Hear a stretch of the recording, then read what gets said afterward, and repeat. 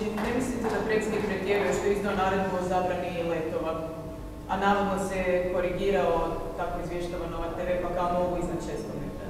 Znači ono što sam shvatio iz e, jučerašnjeg, e, iz jučerašnje odluke predsjednika Republike i onoga što je danas objavljeno u medijima, radi se o tome da se ne bi trebali događati brišući letovi iznad gradova, iznad naseljenih mjesta, iznad mjesta gdje ljudi žive. Znači da se ne bi trebalo uznemiravati građane i takvu odluku podržavam.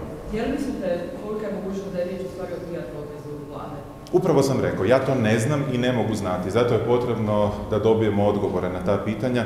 Legitimno je da ih e, postavljate i vi kao mediji i mi kao e, političari, a ono što je nužno je da vlada na njih da jasan e, odgovor i da ga po mogućnosti potkrijepi sa pisanim materijalom koji će pokazati što je točno. Jer ponovit ću još jednom, ako je doista bio PR potez, ako je doista mijenjan plan vježbe, kako bi se prilagodio pres konferenciji premijera i njegovim dnevno-političkim potrebama, onda je to ispod svake razine, onda je to neprihvatljivo i onda je to doista zlouporaba oružanih snaga u svrhu političke promocije. A to se u demokratskom sustavu ne smije događati.